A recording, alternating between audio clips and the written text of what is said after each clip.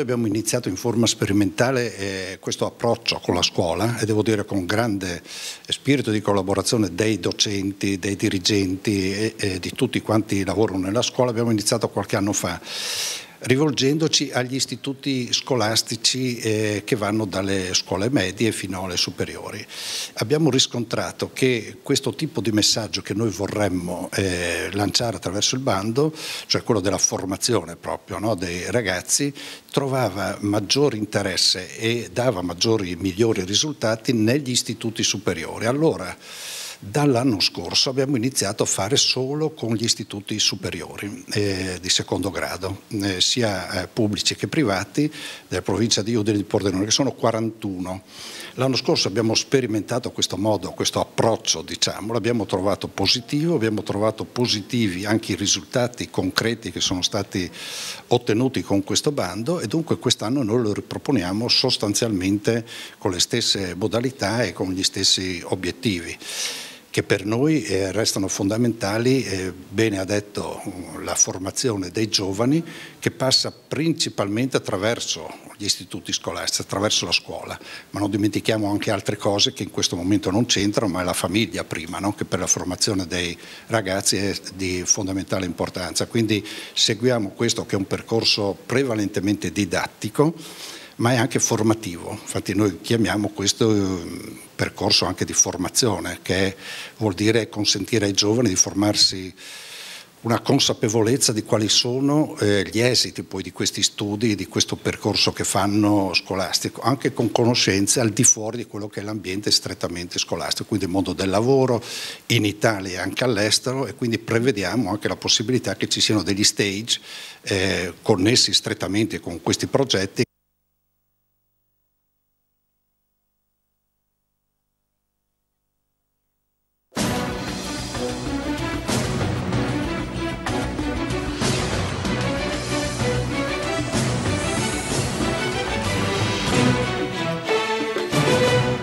terzo anno consecutivo la Fondazione Krupp propone il bando a tema Arricchimento dell'offerta formativa, al quale potranno accedere le scuole secondarie e superiori delle province di Udine e Pordenone per realizzare iniziative finalizzate all'ampliamento della conoscenza della storia, delle scienze, delle lingue e dei linguaggi propri dell'espressione in campo umanistico, artistico, tecnico e scientifico. Il bando, che scadrà il primo luglio prossimo, è stato dotato di un plafond di 500.000 euro. Sono 41 le scuole statali e paritarie destinatarie del bando, i cui contenuti sono stati illustrati nella sede della Fondazione Cassa di Risparmio di Udine Pordenone in via Manina Udine.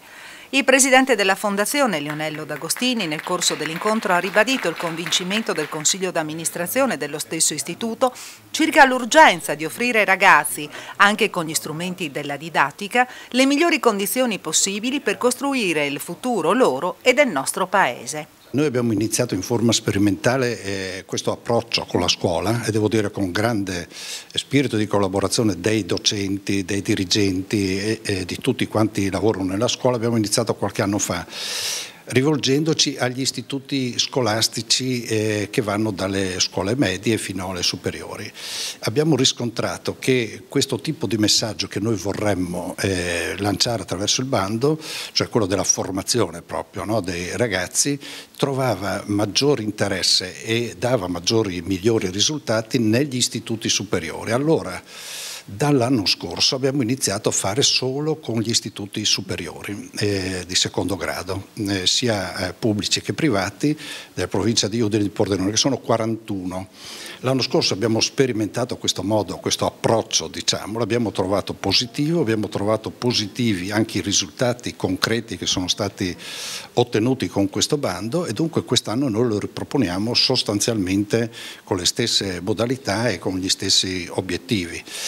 che per noi eh, restano fondamentali, eh, bene ha detto uh, la formazione dei giovani che passa principalmente attraverso gli istituti scolastici, attraverso la scuola, ma non dimentichiamo anche altre cose che in questo momento non c'entrano, ma è la famiglia prima, no? che per la formazione dei ragazzi è di fondamentale importanza. Quindi seguiamo questo che è un percorso prevalentemente didattico, ma è anche formativo. Infatti noi chiamiamo questo eh, percorso anche di formazione, che vuol dire consentire ai giovani di formarsi una consapevolezza di quali sono eh, gli esiti poi di questi studi, di questo percorso che fanno scolastico, anche con conoscenze al di fuori di quello che è l'ambiente strettamente scolastico, quindi il mondo del lavoro in Italia e anche all'estero e quindi prevediamo anche la possibilità che ci siano degli stage eh, connessi strettamente con questi progetti che, che prevedono anche all'estero qualche incontro con altri, altre scuole, altri istituti all'estero, perché ormai insomma, il mondo della globalizzazione credo imponga anche ai ragazzi di farsi una conoscenza precisa di, quello, di ciò che li attende dopo finiti gli studi. Quindi non solo progetti sulla carta, partecipazione, volete vedere anche i frutti praticamente, volete vedere i contenuti di questi progetti? Sì, ehm, sì ci sono questi settori, non solo quello scientifico ma anche quello umanistico, mm. ma alla fine viene richiesto di produrre qualcosa. Mm che sia un piccolo documentario, che sia una relazione, uno studio, una tesina, che sia un prodotto scientifico, una ricerca, però mh, chiediamo che ci sia un risultato concreto sul quale i ragazzi si siano misurati loro e i loro docenti che li seguono naturalmente. E quindi adesso si ripete, si continua con un investimento importante. Sì, abbiamo ritenuto che anche questo fosse un investimento molto importante, quindi ribadiamo l'importo che avevamo messo l'anno scorso, sono 500 mila e su ogni progetto possiamo intervenire però nella misura percentuale non superiore al 60%, con un massimo in termini assoluti di 20 mila euro, che possono essere raddoppiati nel caso in cui due o più istituti si mettano in rete, quindi elaborino un progetto unitario che dunque deve essere abbastanza corposo, no? se 40.000 rappresenta il 60% vuol dire che dobbiamo metterci vicino a qualcos'altro e dunque si capisce che è un intervento molto grosso che richiede però la partecipazione di più enti, quindi cerchiamo di favorire un po' no? la partecipazione in rete, la sinergia come si dice, vediamo se questo dà buoni frutti. Quindi non solo un aiuto tangibile, ma la Fondazione Krupp si fa anche quale motore, no? motore promotore. Mm, beh, questo è un po' l'obiettivo. L'anno scorso abbiamo verificato che ci sono stati due casi che hanno mm, tentato di fare questo percorso e sono riusciti bene, però l'anno scorso era un po' forse troppo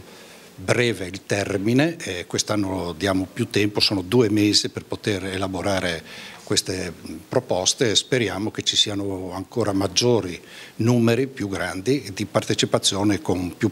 eh, istituti, con più soggetti. Il neoeletto direttore dell'ufficio scolastico regionale Pietro Biasiol ha rimarcato nel suo intervento la necessità che all'educazione, all'istruzione e alla formazione dei giovani concorrano sinergicamente accanto alle famiglie le istituzioni pubbliche e ogni realtà sociale che senta di poter offrire il proprio contributo. Sono risorse che provengono dal privato sociale,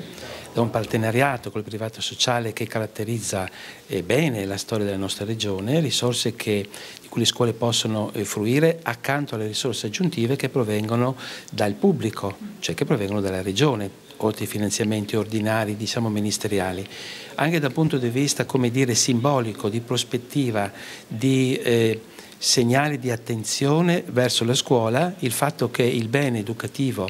dell'istruzione e della formazione sia dire, supportato in maniera condivisa, non soltanto dall'istituzione formale ma anche dai partner sul territorio, in questo caso un, un ente privato sociale di grande tradizione che garantiva in passato e garantirà in futuro questo intervento, questo dà un senso di, di prospettiva, dà un senso di futuro e dà un senso di valorizzazione del destino dei nostri giovani. Ecco, nella nostra regione in questo senso praticamente le istituzioni come questa appunto della Fondazione Krupp è lungimirante, un esempio che può essere esportabile anche altrove secondo lei, anche quella di mettere in rete istituzioni, scuole, più scuole che si adoperino per uno stesso progetto. Noi ne fruiamo, noi ce lo godiamo e ci auguriamo che sia esportabile, ci auguriamo anche che nelle altre due province di Gorizia e di Trieste, dove pure le fondazioni seguono il loro percorso di arricchimento, questo tipo di iniziativa sia in qualche modo eh, fatta in maniera analoga. E noi quando diciamo che i risultati e il livello della nostra scuola nel Friuli Venezia Giulia è molto alto, lo diciamo col timore delle cose molto belle che si dicono sommessamente molto alto, un livello di eccellenza, questo dipende da tanti fattori, sicuramente la preparazione dei docenti, sicuramente la preparazione dei presidi, ma anche da un tessuto che sostiene che vuole bene alle scuole, questo è un segnale concreto. Biasiola ha inoltre rilevato che i finanziamenti ben mirati consentiti dal nuovo bando si inseriscono oggi in un contesto in cui il Parlamento discute dell'attuazione di interventi volti ad adottare il Paese ad un sistema di istruzione scolastica caratterizzato dal rafforzamento dell'offerta formativa e della continuità didattica. Si tratta di un'importante opportunità per le scuole, hanno ribadito i dirigenti e i rappresentanti degli istituti scolastici presenti all'incontro di Via Manin. Abbiamo raccolto alcune esperienze e i prossimi programmi. Con la Fondazione Krupp, con i finanziamenti che la Fondazione Krupp ha messo a disposizione, noi tre anni fa abbiamo realizzato un'importante infrastruttura che è la banda larga al Kennedy, che ha permesso una didattica aumentata dalle tecnologie che è il vanto del nostro istituto e ha fatto da apripista un po' a tutti gli istituti della provincia. Eh, per il prossimo anno stiamo lavorando a un progetto che riguarda l'implementazione della sicurezza nell'istituto con la realizzazione di laboratori di alternanza scuola-lavoro e di progettualità laboratoriale che consentano agli studenti di lavorare in contesto nel loro istituto per il miglioramento della sicurezza del loro istituto. Eh, abbiamo puntato su una serie di attività di arricchimento che riguardano spazi creativi per gli studenti, si è cercato di incentivare quello che riguarda il linguaggio artistico,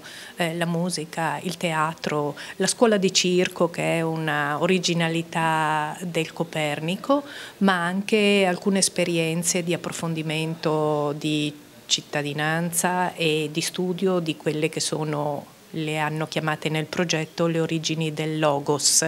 quindi un liceo scientifico che ritorna alle origini del pensiero, eh, pensiero logico e scientifico, anche incentivando quello che è stato il nostro viaggio in Grecia di inizio anno per le quinte.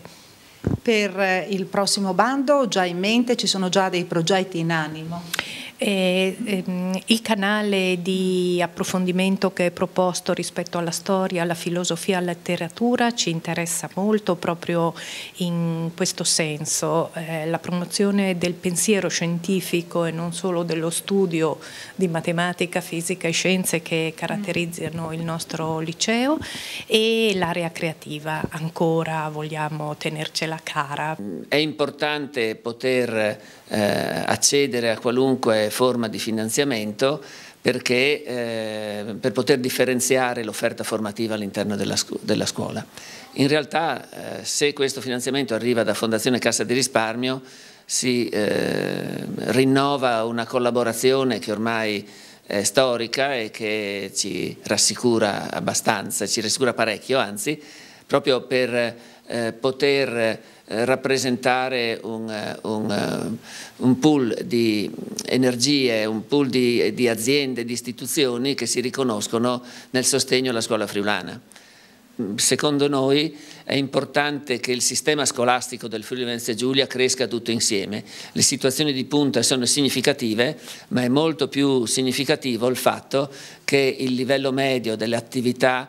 nell'offerta formativa e nell'attività eh, di, di, di, di, assistenza alla crescita anche civile dei nostri studenti avvenga possibilmente su tutto il territorio regionale con la stessa forza, con la stessa intensità. L'offerta formativa del liceo Leopardi Maurana è in realtà veramente molto, molto, molto ricco e la pluralità delle occasioni, delle opportunità che offriamo ai nostri ragazzi, ai nostri studenti è davvero molto, molto ampia. Questo grazie anche al sostegno generoso della Fondazione Krupp che ci ha consentito quindi di attivare, di potenziare, di sviluppare diciamo così, dei percorsi che sono un po' nella tradizione del, del liceo e di migliorare migliorarli costantemente. Noi abbiamo lavorato soprattutto nell'ambito del potenziamento delle lingue comunitarie, nella consapevolezza che la competenza linguistica per i ragazzi oggi è assolutamente fondamentale. Faremo un severo lavoro anche di monitoraggio, di verifica e di valutazione per cercare di eliminare laddove ci siano state delle, dei punti di criticità o di debolezza e di lavorare invece sui punti di forza, ma sostanzialmente penso che andremo alla riconferma insomma, della, delle aree progettuali che abbiamo.